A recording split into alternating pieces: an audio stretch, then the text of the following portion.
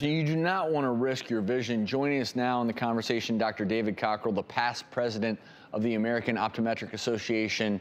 Because, Dr. Cockrell, you've seen a lot of horror stories of people wearing ill fitting contact lenses, or in this case, lenses Leslie found that were contaminated. Tell us about that. I have. You know, in our practice in Stillwater, we certainly have many patients that have been harmed by the improper use of contact lenses, and in many cases because of counterfeit contact lenses.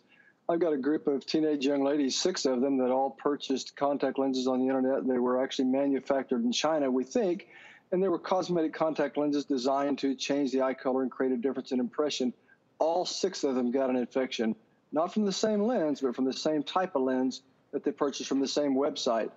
You know, it's really a, a wild west for contact lenses on the internet. I've had the opportunity to testify recently before the United States Senate on problems that occur due to contact lenses that are either A, sold as the wrong type of lens or improperly worn. I want to stress, I want to start to begin with, just like you did, by saying contact lenses are great devices. They're very safe. Everyone should take advantage of them when they're from an appropriate manufacturer and they're fit by a physician like Dr. Bryan or other physicians. You know, I've got patients, as he said, that have literally lost their vision in a one time occurrence. They put a contact lens on, wore it overnight one night, wound up with a severe corneal ulcer leading to a corneal transplant. Those are worst case scenarios, but they actually occur and they occur more than you would think they would. So Dr. Cockrell, I know there's a Fairness to Contact Lens Consumer Act that was enacted. Tell us how that changed the landscape for this type of Wild West. Uh, I think the intent behind the Fairness of Contact Lens Consumer Act was great. What it did was make available to all patients the opportunity to go buy their contact lenses any place they want to, whether it's from a brick and mortar store or from an online store.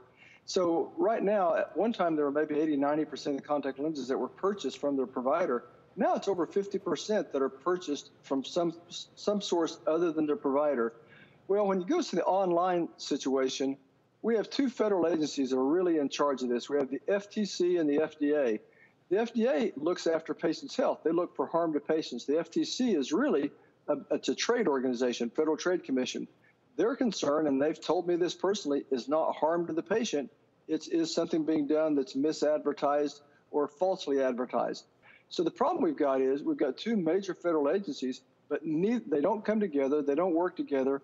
And so the patients are put at risk because they do exactly like you described. They get online expecting everyone to be a honest broker of the contact lenses and supply what's um, indicated on the package when frequently it's not. And it sounds to me like nobody is truly getting reprimanded for selling these counterfeits.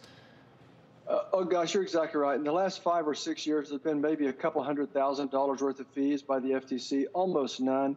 Often, what happens is, as uh, Leslie said, uh, maybe a local agency that goes in to investigate. In some states, it's the state agency that goes in. So there's really not a lot of enforcement, and the patients are left to fend for themselves. I would not buy lenses from a website that doesn't ask for a prescription from your doctor and verifies that prescription, right, Dr. David?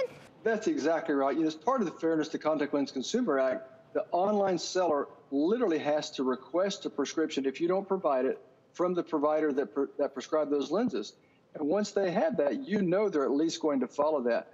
There are unfortunately also some truly unscrupulous sellers who will take a prescription from a provider and then call you and say, well, we don't have that lens, but we have another one that's almost the same.